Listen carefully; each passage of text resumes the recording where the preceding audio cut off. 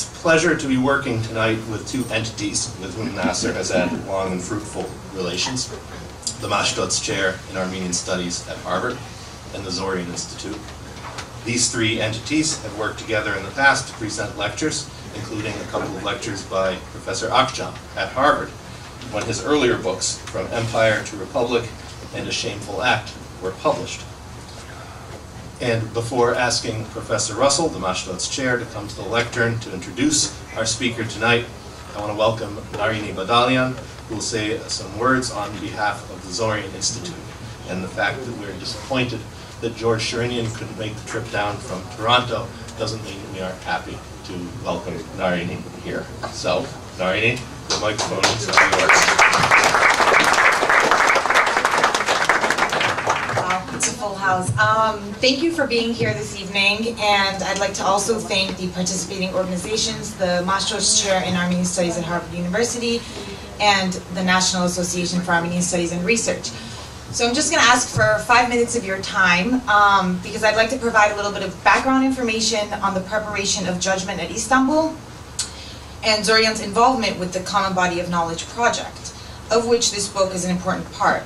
The Common Body of Knowledge project is the creation of Professor Taner Akçam. The objective of this project is to provide knowledge that will be shared by Turkish and Armenian civil societies and Western scholarship. The project aims to identify, collect, analyze, transliterate, translate, edit, and publish authoritative, universally recognized original archival documents on the history of the events surrounding 1915 in Turkish, Armenian, English, and other languages as appropriate. The work is difficult, requiring advanced knowledge of the Sütterlin German and Ottoman Arabic scripts, the special diplomatic languages used, and the history and politics of the period. This long-term project will take many years to complete and requires enormous human and financial resources. Despite the difficulty, the work must be, must be done as denial and distortion of history are a major stumbling block to dialogue between Turks and Armenians, and therefore peace, security, and progress in the region. Without dealing with this history, prejudice and hatred will be perpetuated with unforeseen consequences for generations to come. The more such documents are available, available to Turkish society, the more it will be empowered with knowledge and confidence to question narratives imposed by the state. Restoring accurate historical memory will benefit not only Turkish society, but also Armenian society. Both will be emancipated from the straitjacket of the past. Such a common body of knowledge will lead to an understanding of each other, act as a catalyst for dialogue, and serve as a precursor to the normalization of relations between the two societies. This work can only be achieved through the systematic and continued efforts of dedicated professionals with staff and independent scholars and appropriate financial resources. This is such a large undertaking in terms not only of resources, but also consequences, that it must be supported by all Armenians. So I'd just like to mention a final element of the project, which is um, the Istanbul Press Project. Um, so there's a necessity to provide information that will be considered completely unimpeachable by Turkish society. So there's three primary sources that we've been concentrating on, and that includes the Ottoman archives, the archives of Imperial Germany, who, as you know, were the military and political allies of the Ottoman Empire during the First World War, and Ottoman language newspapers published in Constantinople after World War I during the armistice period when there was no censorship of the press. Now, we knew about the information to be found in newspapers because during his study of the military tribunals prosecuting the perpetrators of the genocide, Professor Akçam had come across a French language newspaper published by Armenians in Constantinople called Renaissance. It provided interesting details not around, sorry, it provided interesting details not found in the official government records of the trials which were being reported by other Ottoman language newspapers. In the year 2000, the Zoryan Institute raised the necessary funds to embark on a long, complex, and confidential project to collect and digitize all the articles relating to the Armenian genocide published in the Ottoman newspapers. We discovered that while the official government record of the military tribunals, the Takvim-i Vekâyi, documents 12 trials, the newspapers provide us details on 62. This includes day by day eyewitness testimony from the witness stand In judgment at Istanbul, for the first time, information from the Ottoman newspapers has been utilized to reconstruct these trials. Future studies on the trials are planned, such as the volume on the trials for crimes committed against Armenians in Trabzon and Yozgat. Such important projects are large, complex, and as you can imagine, expensive undertakings. They can only be accomplished with the support of people like you. Thank you.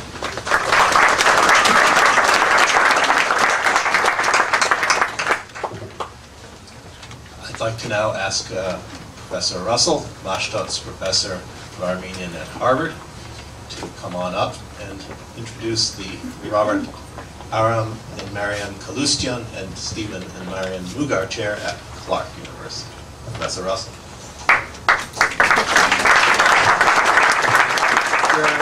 Friends, Professor Akçam, I invite you to imagine a counterfactual historical fiction, an alternate reality, a nightmare. Supposing Nazi Germany has committed the crimes of the Holocaust and then has then lost the war. A new German government, supported by the Allies, takes power and begins to bring the culprits of the final solution to trial. Let us say at Nuremberg, only instead of a trial held by the Allies, it's a trial held by the new German government.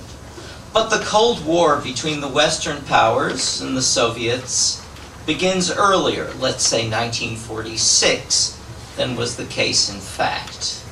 As a result, Allied control over the defeated country falters as the great powers compete with each other. Elements of the Nazi military and state apparatus, from the Wehrmacht, the SS, and Gestapo, regroup. They begin a war of reconquest which unites most Germans behind them, unrepentant, and take over much lost territory, including the killing fields where the extermination camps had been, which they then obliterate. They repudiate the trials that were held by the short-lived, Allied-sponsored post-war administration, and create what purports to be a new Germany, presenting themselves as a stable and increasingly prosperous, if strictly disciplined, society that is, moreover, pro-Western, a bulwark against communist expansion. They are savvy politicians, however, and as a price for joining the Americans against the Russians, they deny the Holocaust ever happened and insist that Washington does the same, and it accedes to their desires. The new Germany then manufactures a warped version of history of the events of the war, citing the Warsaw Ghetto Uprising, for instance, as a proof that the Jews, their victims, were in fact dangerous and disloyal.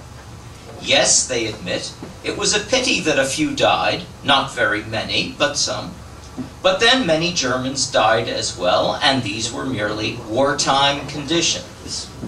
Widespread prejudice makes the lie very easy to swallow, since the Allies had never done anything to stop the Holocaust in the first place, or to rescue any of its victims. And the world, anxious for peace and quiet after yet another war, acquiesces. A century passes. There are no feature films about the final solution. And there is only one novel, which nearly nobody reads. A few German novelists have raised their voices, timidly, about Nazi crimes, but have endured legal harassment for defamation of their country, for insulting Germanness. Every American president, after courting the Jewish vote in the primaries by promising to recognize the genocide, goes back on his word the instant he takes office, and secretaries of state gently aver that historical controversies are best left to academic debate by specialists. One German historian, imprisoned in his homeland, escapes. He resolves to study the Holocaust, and the more he looks, the more he finds, publishing one book after another, first in his native German, than in European languages.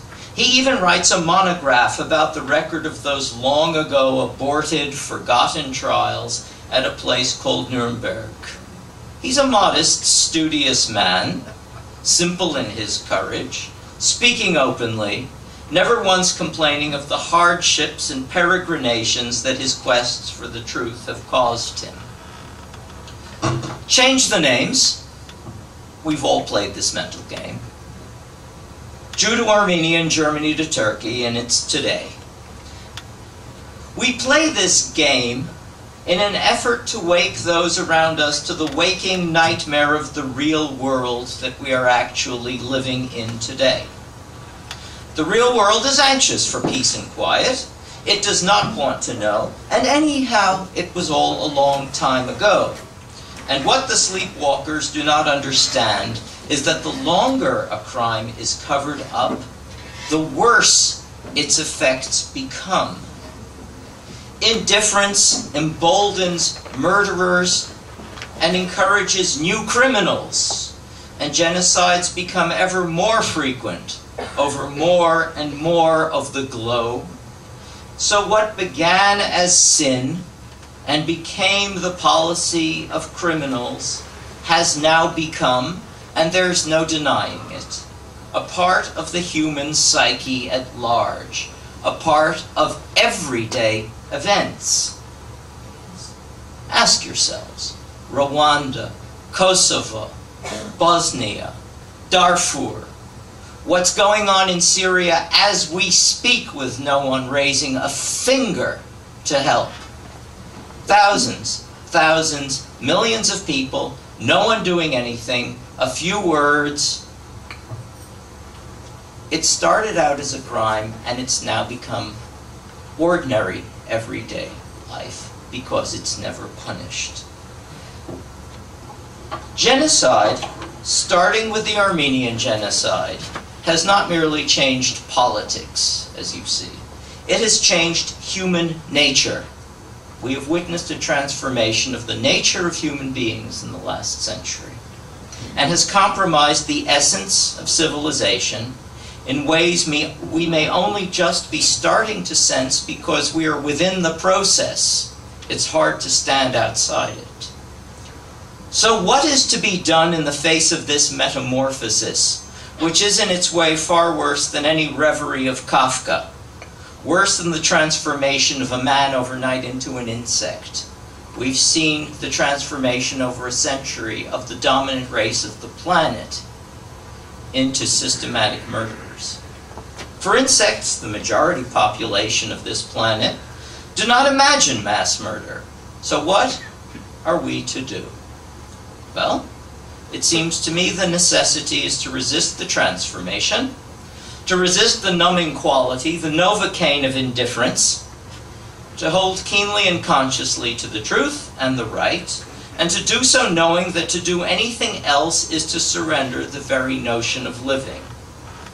The Turkish poet Nazım Hikmet, a communist who died in exile in Moscow nearly 50 years ago, wrote that you must live as though one never died.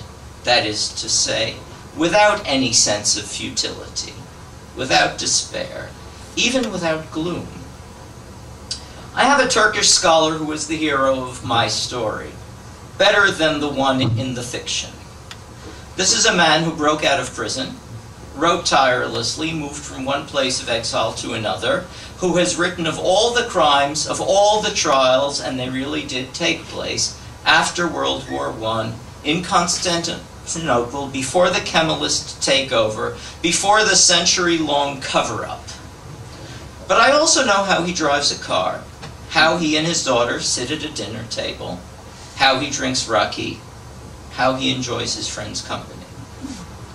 Have you heard of a novel about a Swedish journalist who, assisted by a young girl with a dragon tattoo, investigates a murder two generations before that most people would rather conveniently forget? As their work progresses, they are threatened, finding out about other related murders that were not so long ago, that have been happening up until now because the first killer had a disciple because he wasn't brought to justice and then no one else was. And the murders multiplied. That was one, and the longer justice lay dormant, the worse matters became.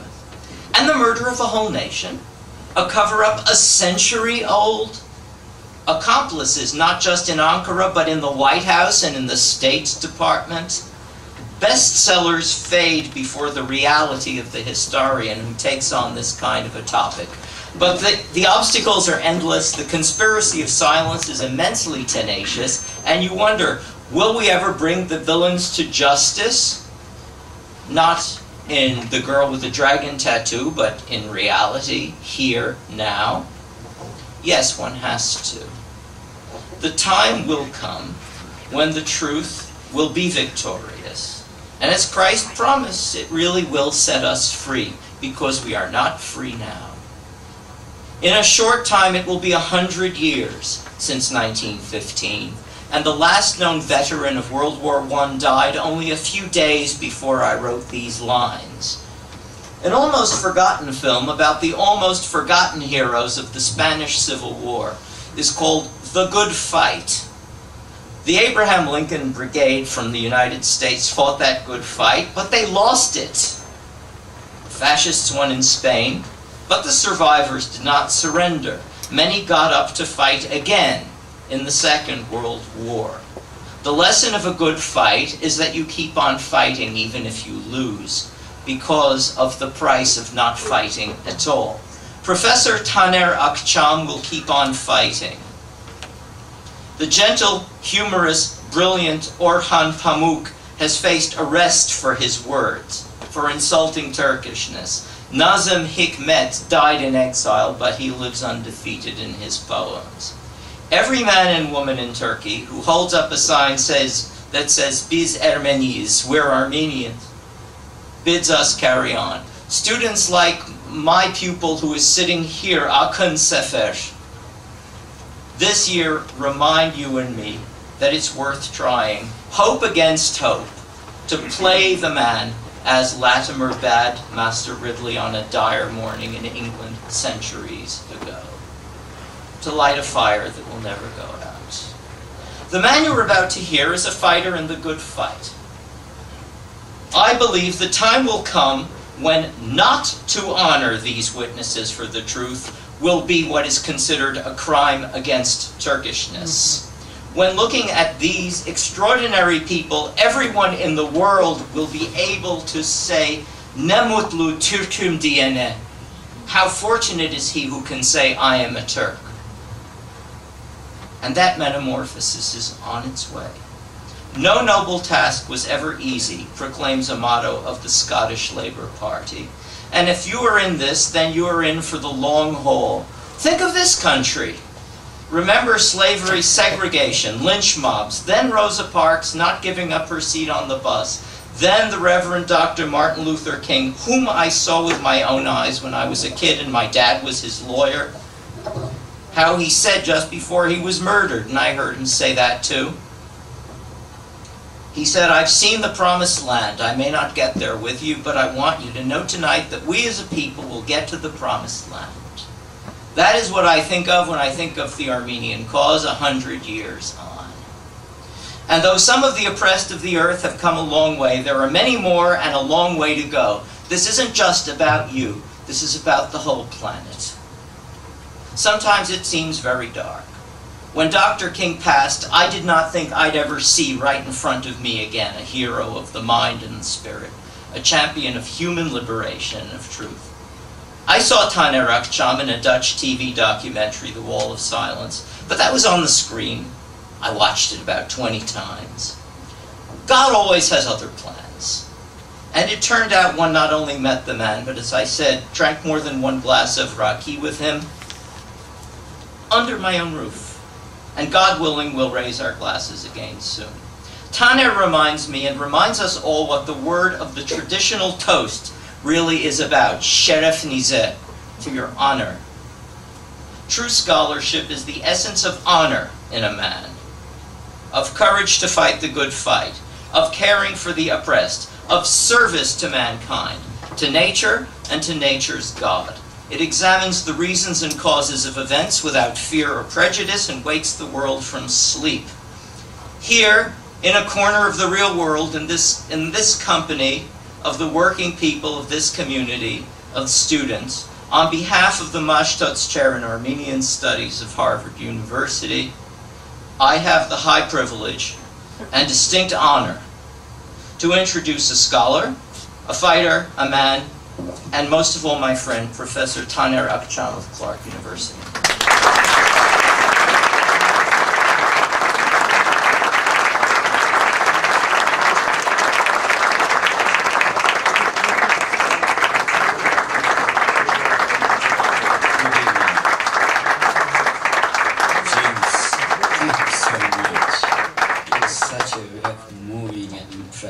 introduction and you raised the bar very high. I'm a small man, I cannot jump over it.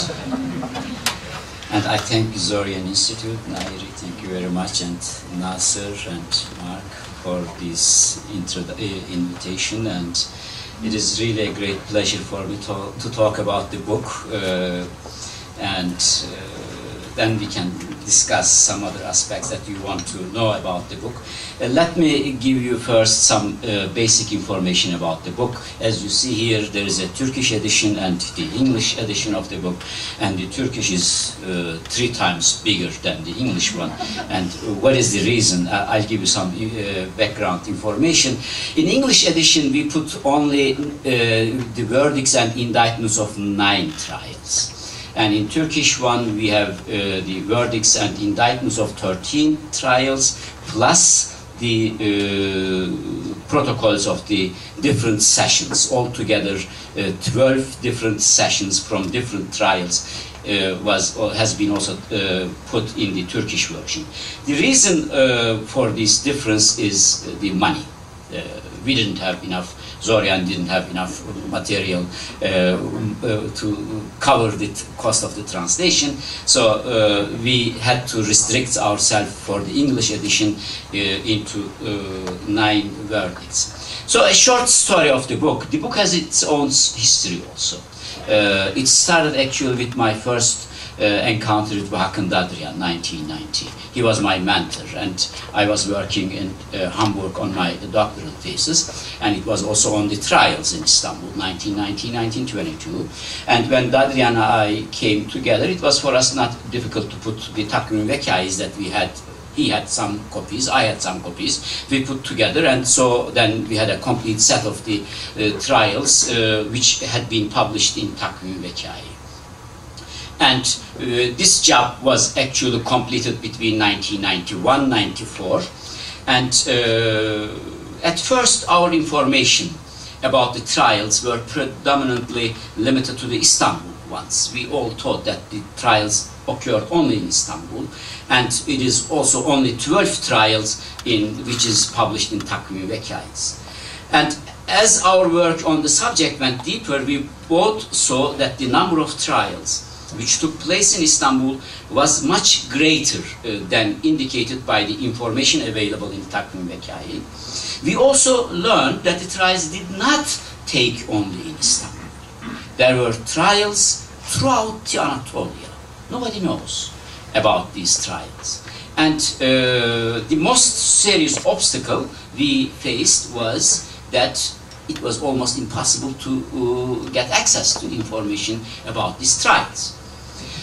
Uh, the information on the trials should be found actually in two major archives, theoretically. One is the uh, Başbakanlık Arşivi, the Prime Ministerial Archive in Istanbul, and the other is the Military Archive, ATS, Askeri Tarih ve Stratejik Etüt Başkanlığı. This is the, the uh, long name of the uh, Military Archive in Ankara, and the name is Archives of the Directorate for Military History and Strategic Studies. The Istanbul Primary, uh, the Prime Minister Archive, uh, is open to researchers, but because the documents of that period had not been catalogued in 1990s, uh, when I was working on the topic, it was not possible to find anything on trials in Istanbul archive. Now there are materials there. We don't know uh, the content of it. I made a search in the catalogs and I discovered that there are a lot of uh, catalog summaries with the title Divani Harbi Urfi. This is the military tribunal. Uh, so there might be some materials there. The young scholar should go and continue the work on that uh, available materials in Istanbul. I'm not so sure what they are. I cannot tell anything about the content of these materials. Secondly, Ankara, uh, why is Ankara is important? Uh, we don't have any documents or files from these court, courts from Istanbul. We have only the verdicts and indictments published in Takvim Vekâyi, the official gazette, and we have some coverages in newspapers. We don't know where about the files, the court materials. And my guess is they might be in Ankara. The reason is because these were military tribunals and Istanbul was taken over by Turkish nationalists November 1922 and it makes sense that the materials of the military court had been transported to Ankara and it might be somewhere in Ankara in this military archive and it is closed to researchers. Nobody can have access. They only allow their own people to go and to work there.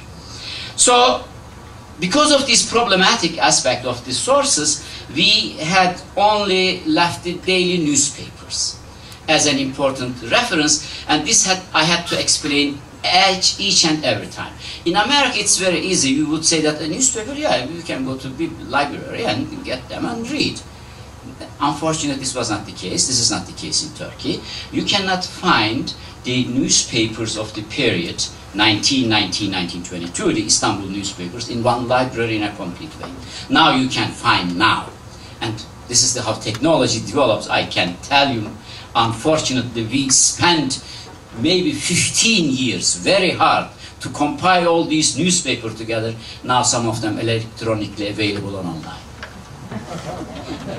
A, Japan, a com company from Japan made an agreement with Turkish company, with Turkish uh, uh, library, and they worked hard last two, three years. Now it is possible to get access to some of these newspapers. And for me, it uh, really we started to compile to collect these newspapers 1995 and until 2003 2004 and uh, it is a huge endeavor and I personally didn't have money and nothing and it was the Zoryan Institute that came up with the uh, fundings and then we really went from one library to another and tried to compile these newspapers together. I give you some other in interesting examples for the, in order to imagine the newspapers. Uh, they were not in one library, this is one thing.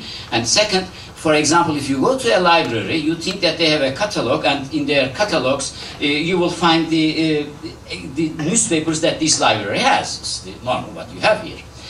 In Ankara, we had, for example, in one library, this is the Milli Kütüphane, the National Library in Turkey. You know how the things works in Turkey. We had some friends in library and was able to go to the basement of the uh, library. We discovered some newspapers they don't have in their catalogs. So even they had more than what they had in catalog, but they didn't know. They didn't have a good catalog. So we really compiled all these newspapers and to our surprise, we discovered that really the newspapers covered these trials extensively, and the number of the trials are more than that we know. And from the trials, from the newspapers, we also learned that there were at least in 10 different cities in Anatolia, special military tribunal had been established, and there were court cases, and we know from the newspapers also there were some sentences. But we don't know, we don't have detailed information about these cases, what they were, who were the uh, defendants, and so on. This is really a, really a research topic for the uh, new young generation. Uh, another important aspect, let me tell you the newspapers. The newspapers covered the uh, trials at the beginning extensively. And the number, as I said, 63. I discovered through this research that the entire trials only in Istanbul by the military tribunal number one is 63. And I excluded, we excluded some of the trials which are indirectly related to the Armenian deportations and killings. I gave some examples in the book from uh, uh, selected from these indirectly related trials also. So the directly related trials 63 and the number might be higher. Why? Because when the time passed, even though uh, interrogation were continuing, the interest of newspaper dropped. Because with the increase of Turkish nationalist movement in Anatolia, the uh, press interest on newspaper also dropped, and uh, the coverages was not extensive, and was you, sometimes we couldn't understand what they were talking about. Uh, and there another complication is, for one trial, the newspapers gave different names. Nahiye müdürleri, Bahçecik, İzmit. Three different names actually for the same trial. Or for the same city, let's say Musul, they have three different trials. So you have to really figure out when the newspaper writes Musul trial uh, happened today, then you have to know which one and so on. Because of this, this issue, I'm not so sure about the exact numbers. But 62, sure, and I have the list in the book of these 62 trials. And I read you from uh, a newspaper how the, it shows you how the interest dropped and it's very difficult to understand.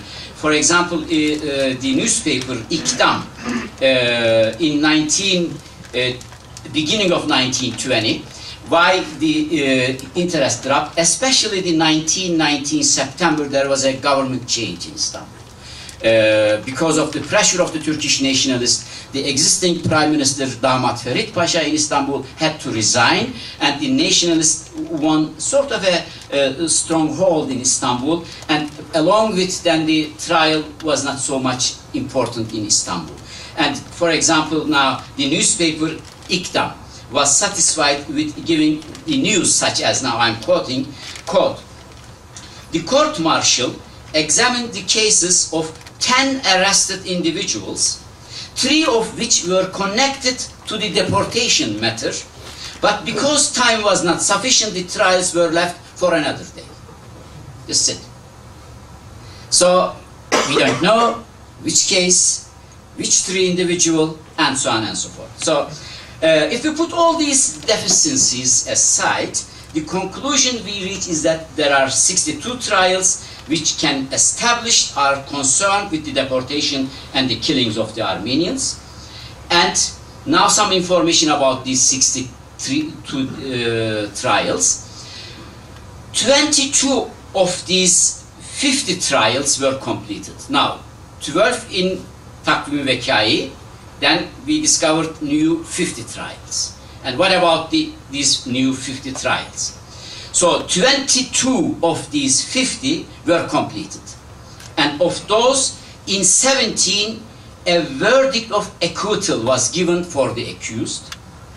Eight trials ended with the verdict that were, there was no need to investigate. Of the remaining two trials, one was dropped because the accused was deported to Malta. British took him and sent to Malta. And while the other concluded with acquittal for one of the accused and the decision to expand the investigation of the other defendants stayed there. So, but if necessary to repeat the, despite all these impossibilities and difficulties, the documents that we published possess a priceless significance. As a result of the importance of the topic, we did not content ourselves with publishing the documents alone, but wrote an unusually long foreword. Vahakn Dadrian wrote approximately uh, 150 pages introduction, and myself approximately 100 pages. We explained the various aspects of these trials. The list of the trials, 62, the defendants, the uh, day of uh, the uh, trials and the end of the trials. You can find, and Dadrian made an explicit, wonderful uh, history of the period, the political history of the period. And my articles are basically with the history of the court martial itself and the various stages of the court martials and the developments. And this list shows that the trials were extremely extensive, both in number and in the areas covered. And I think this is one of the important contribution for the uh, putting down the Armenian genocide as such. So now I would like to talk a little bit on some objections uh, related to the uh, trials. As you know, there are some objections raised by certain scholars, and uh, I would like to talk on that aspect because in English version we don't have this. This is the other difference between English and Turkish version. In Turkish version, we had an extensive article dealt with the question of different objections by different political parties, Turkish government, and scholars against these trials, and how we really should argue against these trials. And uh, but this is not in English version because uh, we didn't have time. The book had a really complicated publication history. I don't want to go into detail also. So, what are the main objectives to these trials? Uh, it is possible actually to summarize five, five different important points. One, it says the Ottoman legal system did not have the necessary standard for a just trial. This is number one. Number two, the courts represented the justice of victors and were placed on the agenda for the sake of revenge.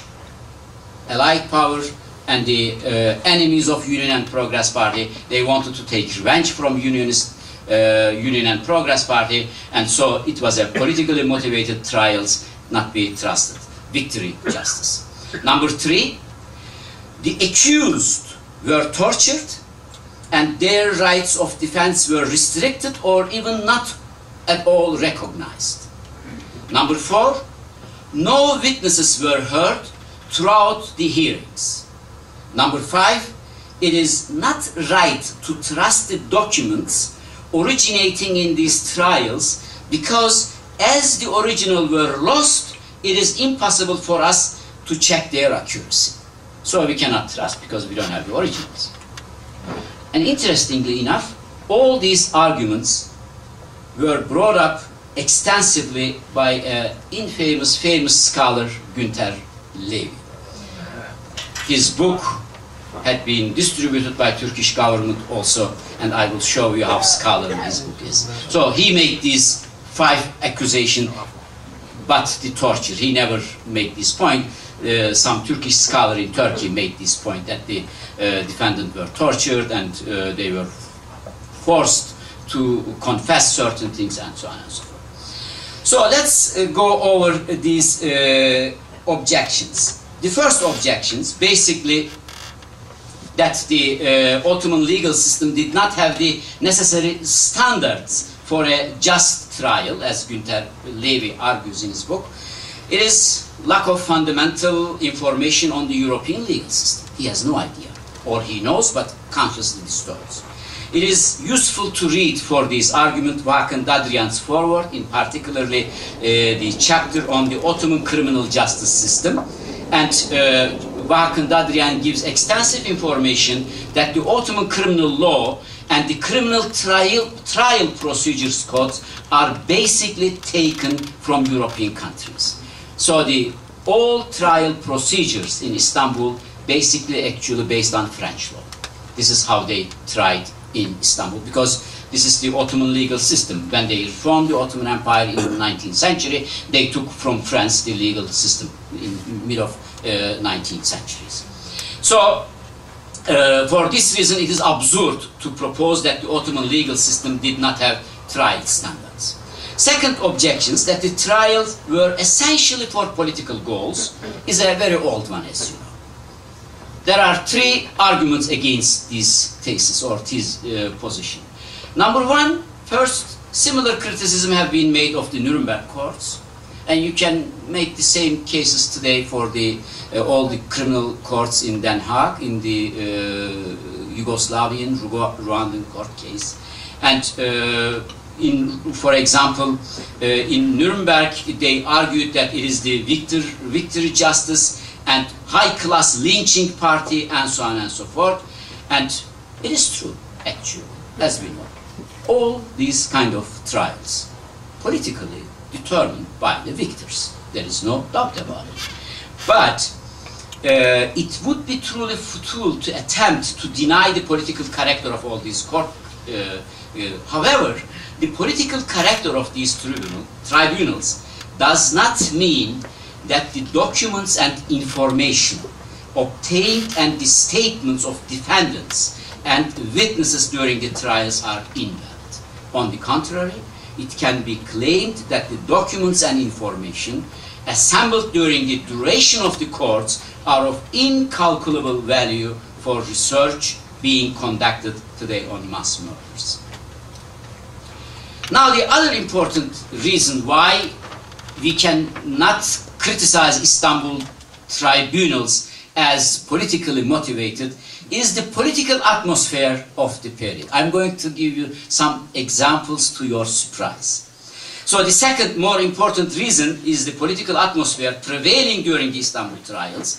Unlike the Nuremberg or other similar trials, if we call the Istanbul court-martial trial political judgments, we can say that this political momentum to a significant degree turned in favor of unionists actually. The conditions of detention from this point of view is a very important example. I'll talk a little bit about it. And another example, I will give you a very striking example from a court case.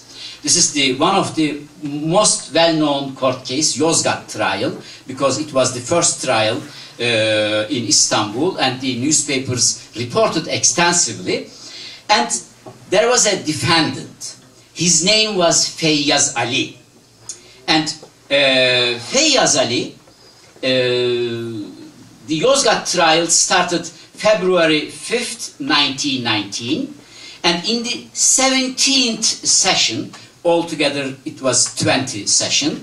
In 17th ses session, which took place 31st March 1919, Feyyaz Ali's file was separated from this trial on the ground that it would be more correct for him to be tried in Yozgat. Okay. Later, however, in a very interesting fashion, he was left free to go to Yozgat by himself. And he did. He escaped. He went Ankara and became nationalist. And the member of the national uh, parliament in Ankara. And the first thing that he did, the first important initiative of the Feyyaz Ali was to propose a bill, the pardon of those condemned by court martials. This gives you the political atmosphere of the period. So, and we learn more information, but this is the good part of the working on the Turkish newspapers, how important the project. We learn the details of the story uh, in, from Turkish newspaper. One of the judges of these Istanbul trials, they were also changing because of the political character of the regime, and he gave an interview, the judge, uh, August 9, 1920, and uh, his name also Mustafa Pasha, who was the president of the court-martial since April 1920. And uh, Pasha made some comments about the practices conducted in the period prior his own and said, quote, all the documents and papers pertaining to people whom we sentenced in absentia were destroyed. End quote. This is his saying. I'm taking from newspaper. It is very important that the president of the court openly confessed that the investigation files and documents were destroyed. And Mustafa Pasha refers to the trials case Yozgat and Feyyaz Ali, and he mentions Feyyaz's name and says that uh, Feyyaz Ali they let uh, uh, Feyyaz Ali free with an unsubstantial letter of guarantee which no reason and logic would be able to accept and allow. According to Pasha, the setting free of a person involved in many crimes and murders is not a behavior that can be forgiven. This is about the political atmosphere of the uh, period. So for us, the important thing is uh, not the political atmosphere actually, the documents that came out throughout these trials. This is the important part. So let me talk a little bit on the condition of the imprisonment so that you can get more sense of the time period. From 1918-1921, the conditions of house arrests or imprisonments extremely important because one argument is they were tortured and they were pressured for uh, the, uh, their testimonies and so on. We cannot trust them. Now, I'm again, I'll give you some information from the daily newspapers of the time and from the memoirs of those who were in prison at that. So for us, the important source themselves. They wrote a lot of memoirs afterwards. So just some examples. A journalist who was with the first people to be arrested on the, at the police station, related later in his memoirs following, quote, the open terrace of the upper floor of the police station in a short time turned into a marketplace. Beautiful food came from homes. Everybody was serving each other. I was witnessing and accounting for a whole area. People were sitting together, eating and enjoying their time. Prison conditions were not different from those who were sent later. An English report, the British uh, report, summarizes the prison conditions as follows. First from the foreigners, uh, and then from the original sources. So the British report says, quote, prison conditions, uh, let me find the uh, quote. So, uh, it says the captives have friends in particularly every ministry. And they are given permission to have limitless meetings with friends and sympathizers. It is true. We have from the memoirs, they write, I was calling the, uh, from the justice ministry, this and that bureaucrat, and he came and we discussed the trials. So the people were coming from the ministries and debating the court cases with the defendant in prison. And this is in the British report also. And also, the individuals, totaling 112 people, are permitted to go out of the prison during the day.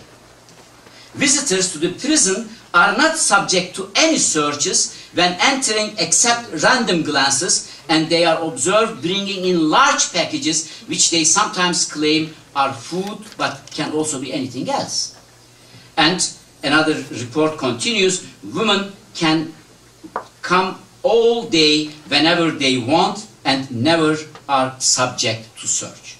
So, as hard as it may be to believe, the information mentioned in the English report that the defendants were free to leave the prison whenever they wished is true. Those who left the prison most of the time returned in a few days, not wanting it to be shameful for the prisoner director.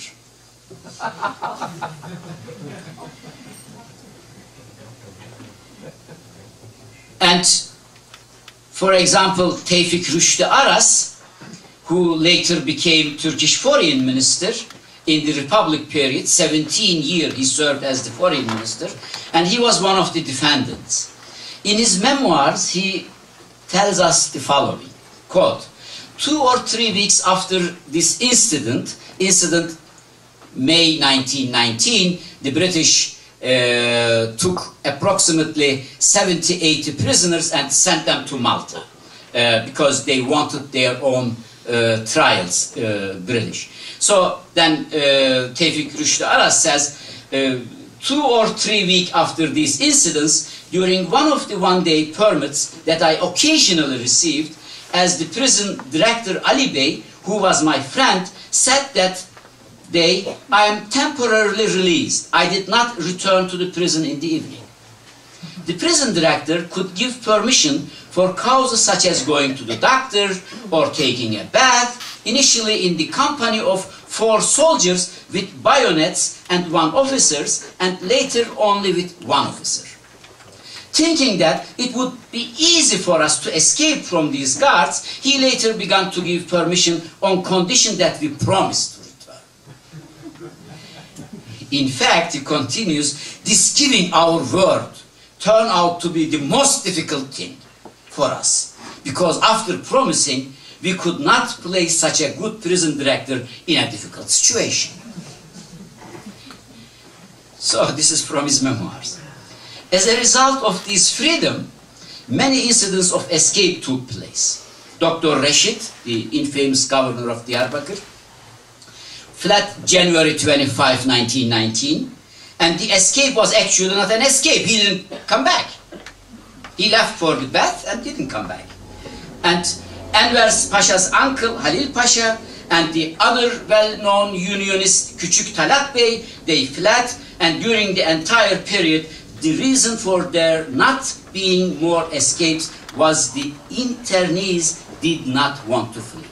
And I'm jumping uh, from the, you can read, uh, no, you cannot read this, only in Turkish parlance. Uh, I'm sorry. Uh, uh, uh, we know from the cases, really, they planned to empty the entire prison.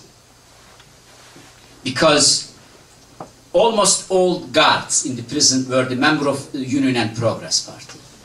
And I'm, I took it from a memoir who was involved in this process of emptying the prison. He wrote in his memoir, say that I went in the prison and we had a long discussion and nobody wanted to get out. They all believed that they will be free in any way in a couple of months and they will be in the power.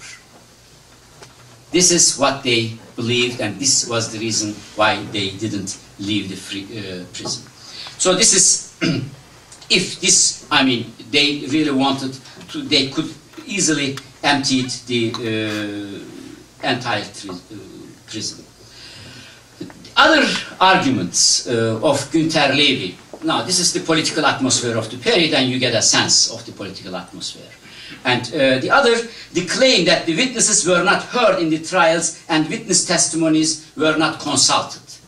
He writes this in his book very seriously. Only in one trial, this is the main trial, what we call, because of the character of the trial, it was against the cabinet ministers, and you could not have the witnesses, of course. And but all other trials, you have witnesses. Witnesses were heard. Not only that, basically the verdicts based on witness testimonies. And you can find all this information in the book again. So, this is another really baseless uh, argument. The claim that defendants had no opportunities to see the documents presented or check whether they were originally is also originals is also complete false and is based on lack of information and the weakest evidence. All documents and witness testimonies used in the cases were seen by defendants and lawyers and submitted for their approval and comments. I'll give you only one example. During the ninth session of the Yozgat trial on February 22, 1919, Kayseri Division Commander Colonel Shahab Bey, called as a defense witness, was confronted with a surprise. The public prosecutor brought out some telegrams belonging to him. Shahab wanted to deny that they were his. After the committee asked the judge, do you wish to see the telegraph, sir? He responded, it is not necessary. Of course, it is true, sir. And accepted that he had sent the telegram. And you know from Vahakn Dadrian's uh, lectures here several times, he loves to give uh, the uh, expression aslına mutabıktır, aslına muvafıktır, it confirms the original. The documents that had been used in the in trials were basically confirmed by the Justice Ministry that it confirms the original. So the original materials were used uh, extensively uh, so that we know that they were original. Another important information which Günter Lewy argues, since he says that these are some quotes from certain documents from Vehip Pasha. Vehip Pasha, the Third Army commander, and his testimony was crucial in certain uh, trials. And uh, the argument of Günter Lewy is, yeah, uh, we can only read in court uh, record certain quotes from Vehip Pasha's testimony, and we don't have the entire document. So how should we know that it didn't taken out from the content? So it is not trusted. So I give you what are the original sources of Vehip Pasha's testimony. Number one, not only in different trials his testimony were read, we know that in the trial record, but also the daily newspaper published extensively the entire text. It is there. In Vakit newspaper, the entire testimony of Vehip Pasha printed, had been printed. And another important information, exact the same document is available in Jerusalem archive. Vahakn Dadrian had the example, I mean, the copy of this, and we compared the quotes in court trials, newspaper, Vakit 1919, and Jerusalem archive, uh, Pasha testimonies, they three are all identical. So it is possible to find exactly the same some materials. Couple of telegrams which were used in the trials, which is in the indictment. We have now in these days some of them in Prime Ministerial Archive in Istanbul and also a copy of them in Jerusalem Archive. So there are different ways also to uh, justify, to prove the originality of these materials. So it is also very important. We can follow these uh, for each and every document. In summary, the documents and information that emerged during the Istanbul trials are among the primary sources that can enlighten us on 1915 and the events connected to it. And from this point of view, have a priceless value. There is one important question to be asked here. Why Günter Lewy, even though he is a scholar, writes all these? And my only answer is, yeah, denialism, denialism must something like that. There is no other explanation. Knowingly distorting the facts. This is what he did, unfortunately. So I think I would like to stop here. I can talk and talk because there is another important aspect you might have heard. This is the other important discussion or the objection uh, in by Turkish government or some uh, denials. They argue that there were some investigations against the uh, perpetrator, even 1915-16. There were some trials. So it cannot be called genocide because Ottoman government also investigate the misdeed against the Armenians. This is a very famous argument and they use a number also. They say that during this investigation, 1,397 people were charged and there were cases against them and some of them were sentenced to death penalties and so on. They used this as an argument that 1915 was a genocide and the Ottoman government really took everything uh, for to prevent the killing of the Armenians during that period. And extensively I uh, worked on that also. Uh, indeed, there were trials, 1915, 16, and but these trials were against those who plunder Armenian properties because state wanted the properties for themselves. And there is no one single trial against those individuals who committed crimes against Armenians, but there are several court cases against those individuals who plunder Armenian properties for their personal uses. So this is other important information. I think I stop here and we can talk more. Thank you very much for listening.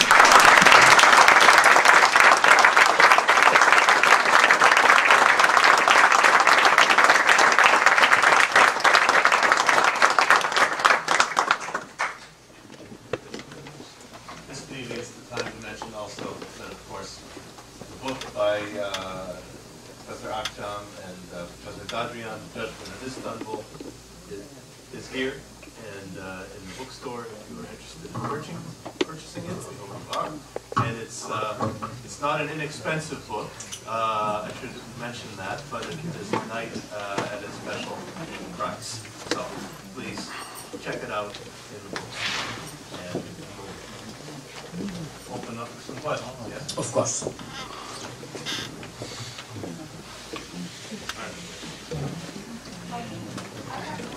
Please shout it out. I am, I'm wondering if you could say a few things about the censorship in Istanbul at the time. Uh, now you mentioned that there was no censorship, but as far as I know, there was some censorship. Also, I, I mean, I was going to see it, but I never understood like each was really censored in the other. Uh, the second is something that I don't know anything about, which is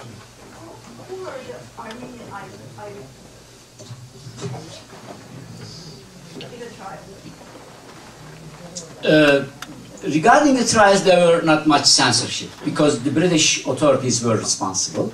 And uh, to my knowledge, there were limited cases, but mostly Istanbul press were free to report on trials and on Armenian atrocities. This is the other project that Nairi mentioned uh, that I plan. Uh, by the way, uh, I have to mention one important issue for me. Uh, it was originally also my idea to publish with Vahakn Dadrian to overcome one basic issue that bothers me a lot. Because of this uh, Turkish policy, Turkish government's denial policy, we, there is a sense of, there is an understanding that there is an Armenian position, there is a Turkish position, there is Turkish scholar, there is Armenian scholar. Actually, we are all human beings and we have the same feelings, same reason and same way of judgment about the historic wrongdoings and so we have to overcome as scholars at least to write a common book on a topic which we call crime against humanity. So this was for me also important to overcome this hurdle, this, this per, false perception that a Turk and an Armenian, whatever their ethnic origins are, they can write a book on a topic like Armenian genocide. There is no Turkish perspective or Armenian perspective in that sense. This is very important. Uh, but I forgot what I want to say, then answer the second question uh, regarding the uh, Armenian witnesses. Who were they? Uh, they were some survivors. How it works in the following way. Uh, the British uh, occupied forces in Istanbul set up a Greek Armenian commission. It was a sub-commission within the British High Commissar in Istanbul and patriarch, the Armenian patriarch were also representing. And they had regularly meetings and they collected as much information as possible.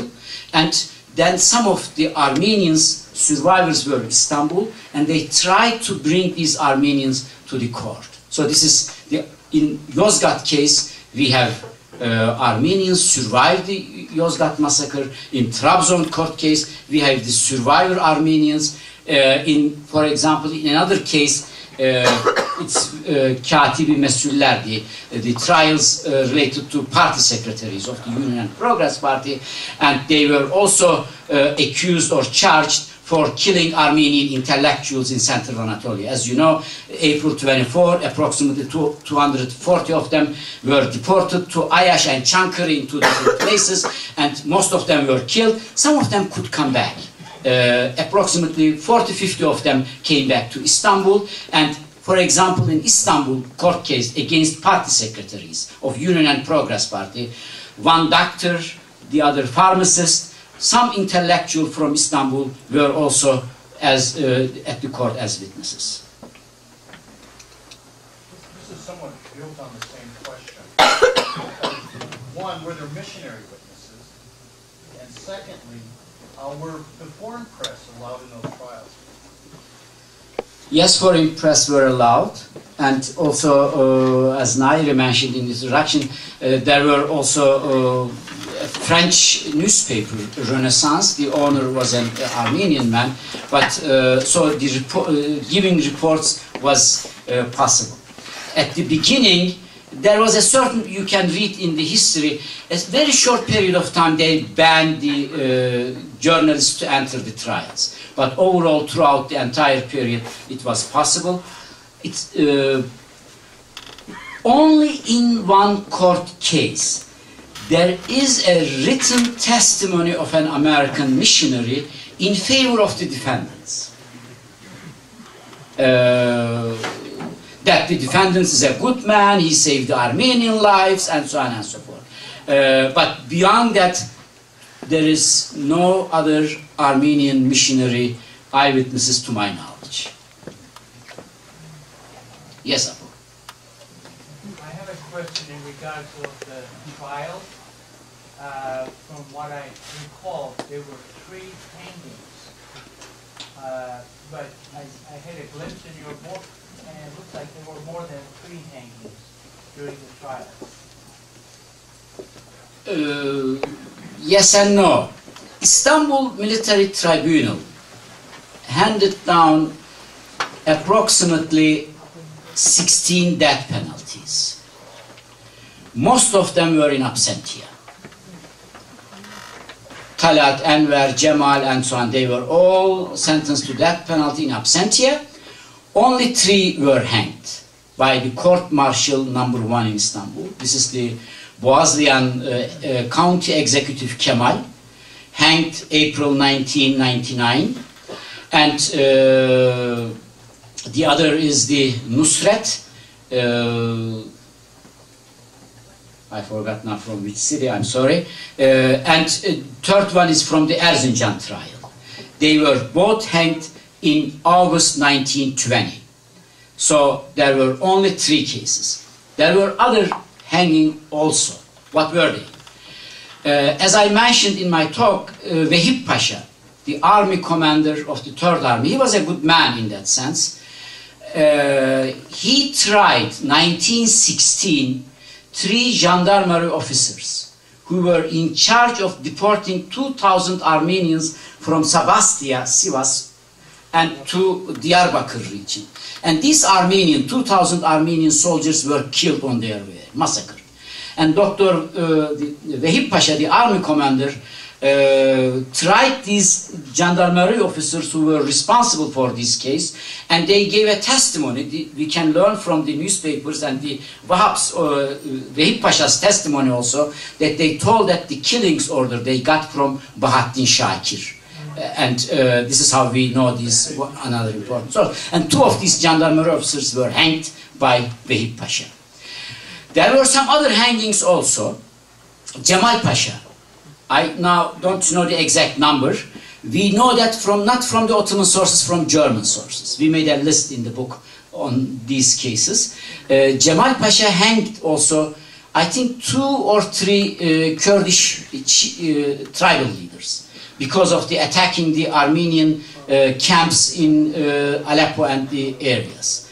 And this was Jamal Pasha's own initiative. So this is the entire story with the hangings. There were other executions, but it has nothing to do with the trials actually. One of the Teşkilat-ı Mahsusas member, maybe some of them have heard maybe his name, Yakup Cemil. He, he was one of the murderers, I mean leader of the one of the Teşkilat-ı Mahsusa group, and he was in charge of killing a lot of Armenians uh, in eastern Anatolia, in Erzurum and the surrounding regions. He was also hanged in 1916 in Istanbul, but not because of the issues related to genocide, because he wanted to organize a coup d'etat against Enver in Istanbul.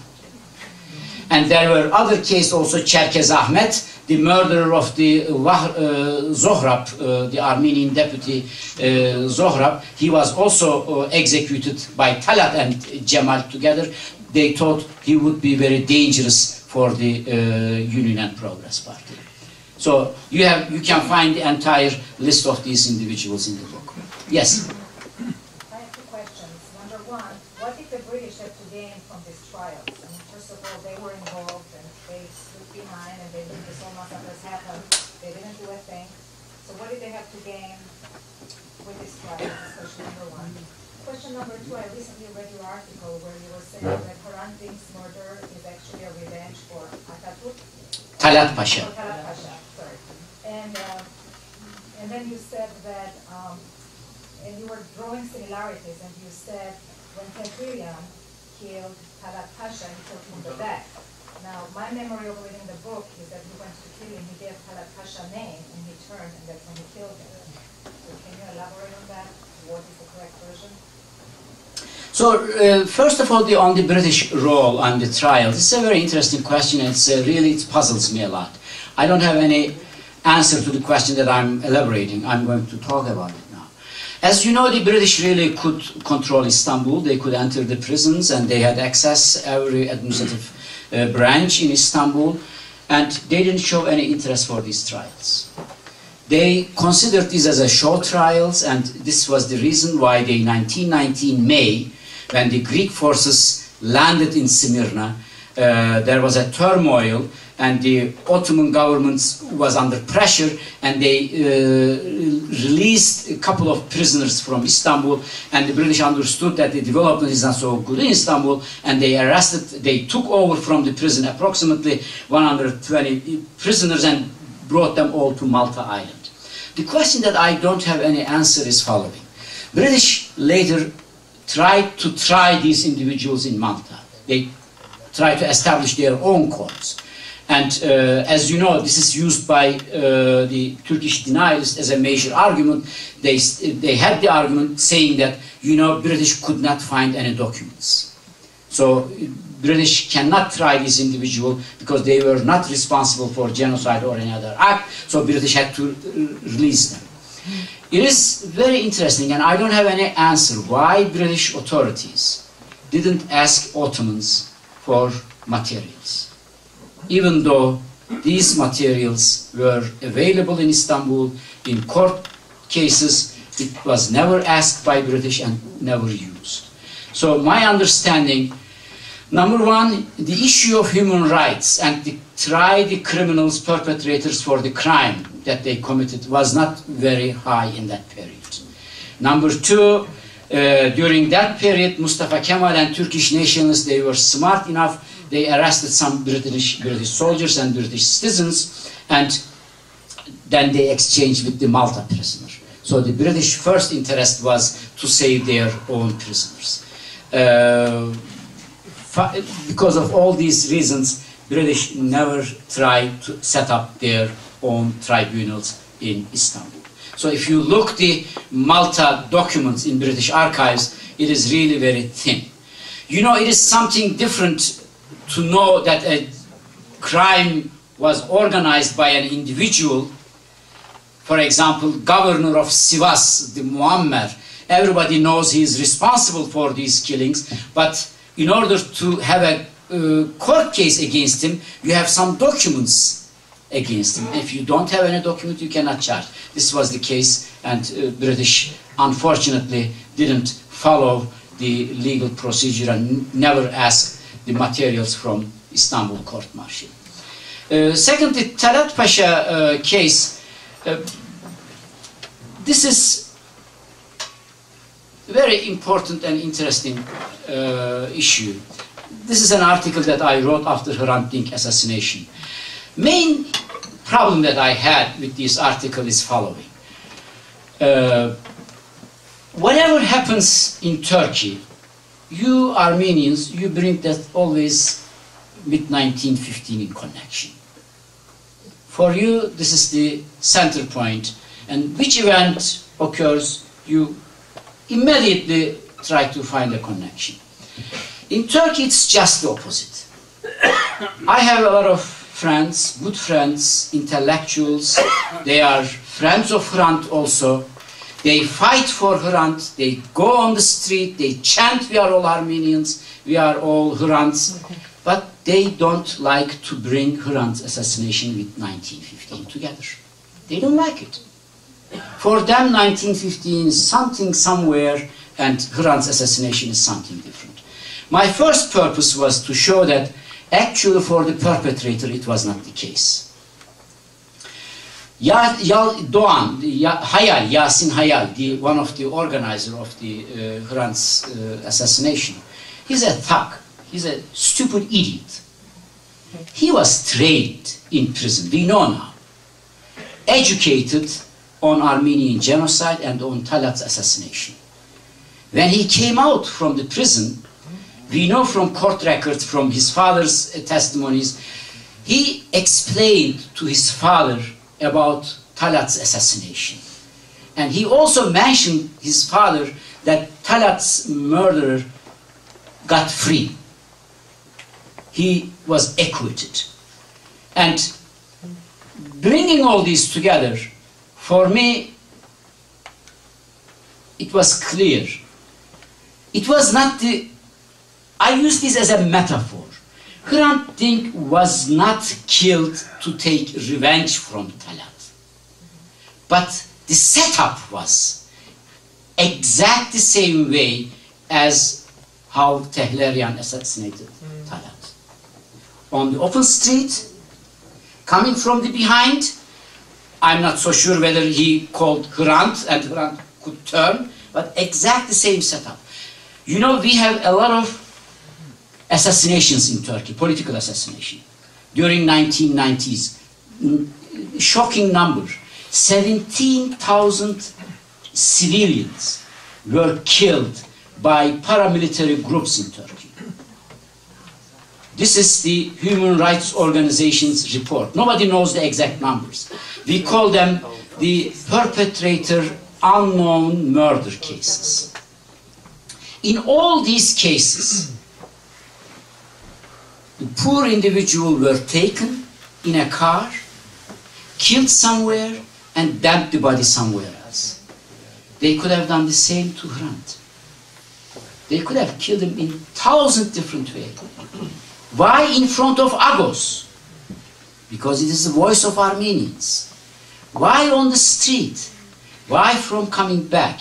In Tehlirian case, he came from the back and called Talat's name. This is the reason that the Talat could turn back. But same scenario, coming from back. And also, as you know, Tehlirian actually should not escape.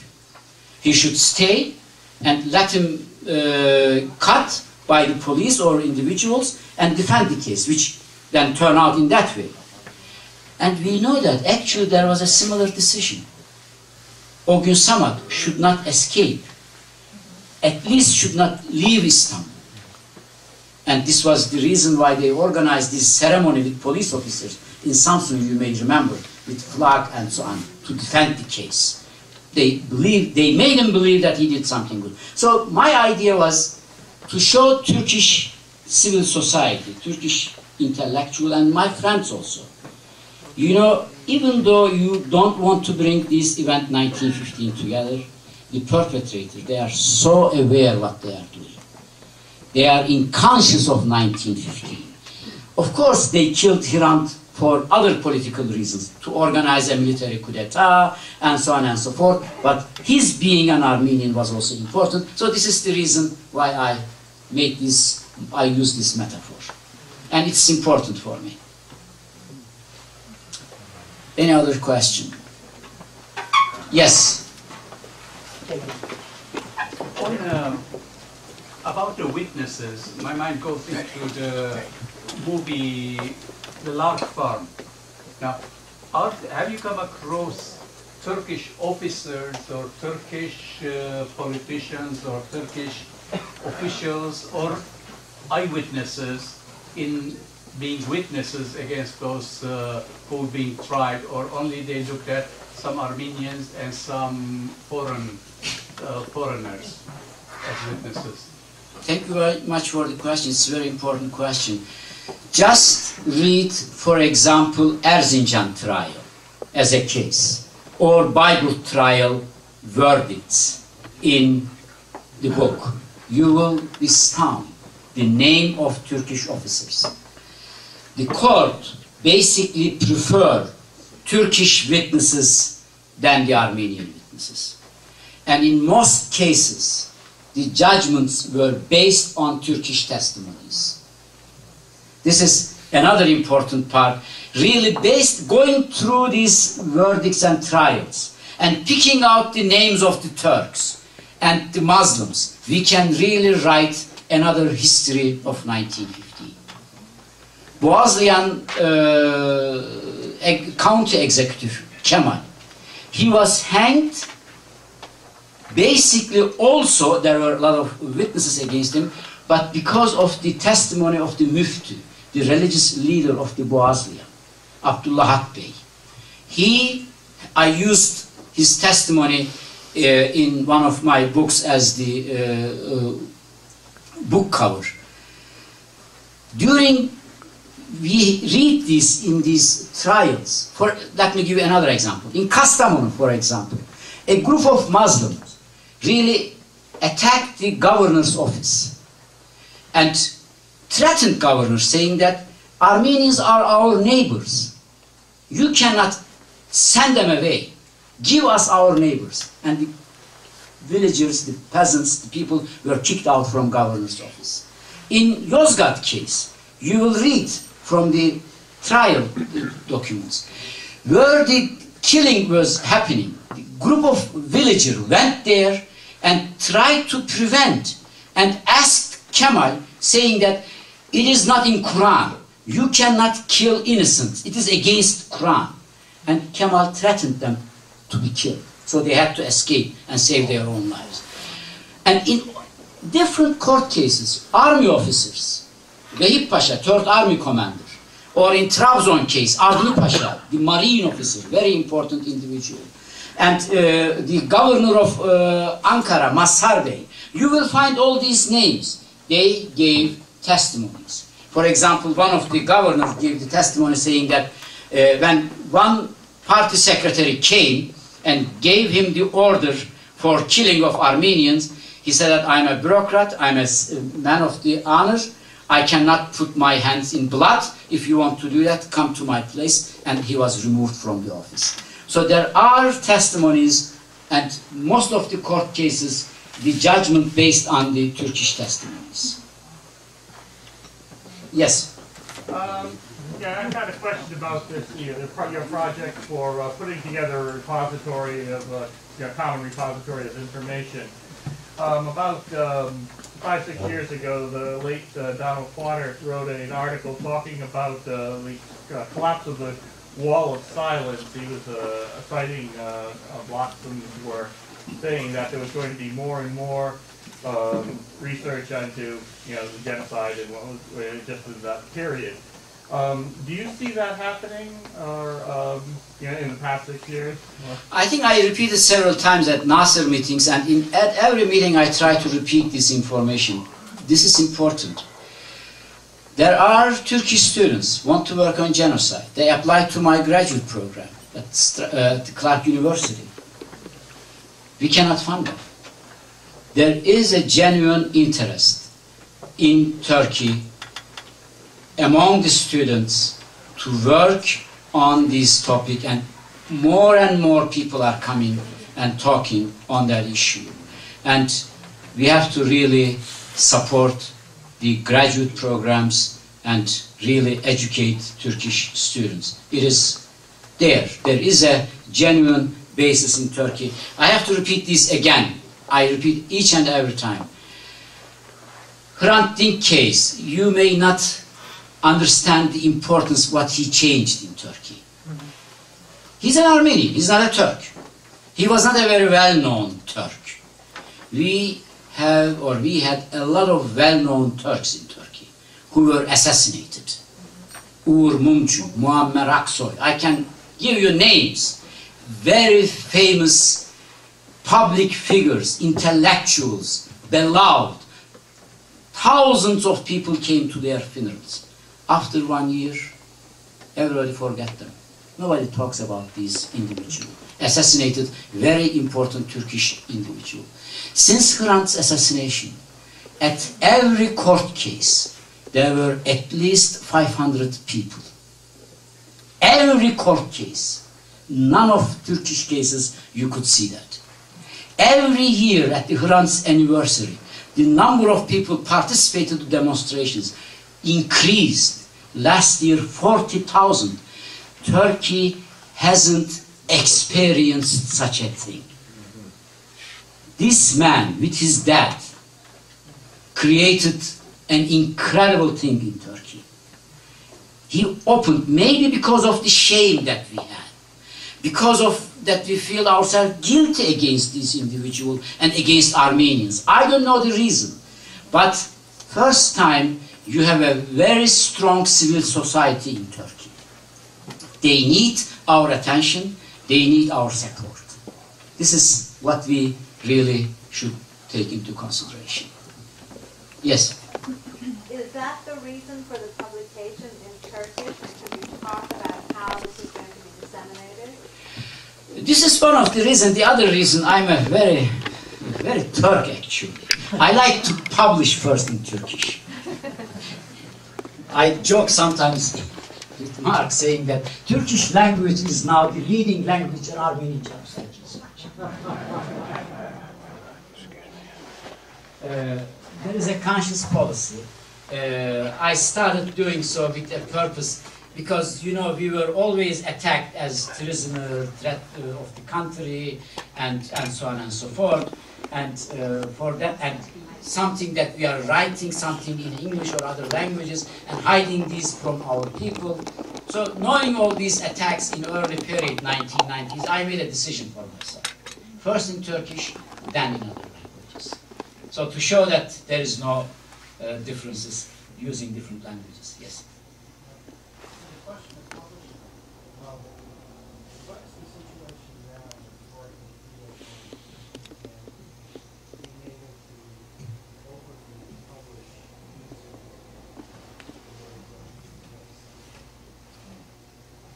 I know that the,